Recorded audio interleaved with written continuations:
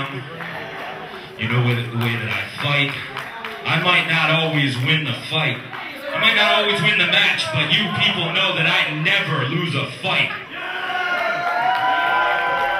Now, through my life, starting with my dad, teaching me that the value of a dollar, the value of a hard day's work, the value of making something out of nothing.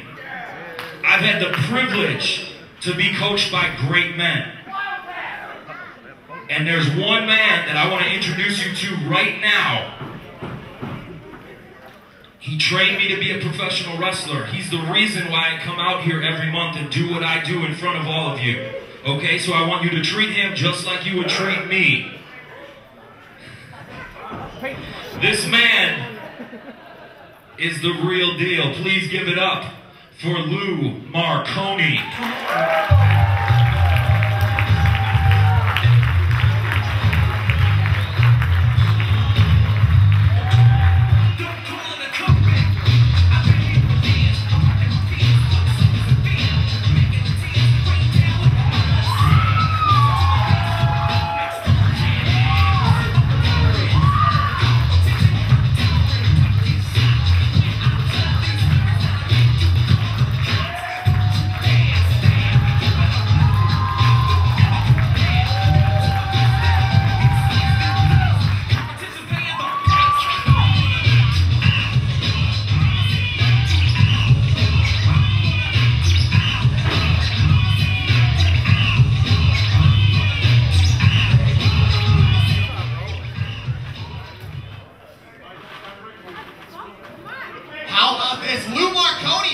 His debut here at Firestorm Pro Wrestling, taking on one of our training school I, I know his name. I know his name.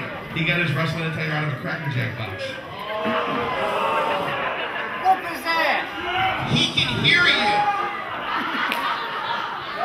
Oh, Machine Gun Kelly. I'm pretty sure your mouth just wrote a check that your butt cannot cash. I keep it on the level for this match if I were you, Machine Gun. I think you should show some respect to a true legend of the tri-state independent scene. Actually, beyond the tri-state area, this man has done it all, been there and done that, and took names.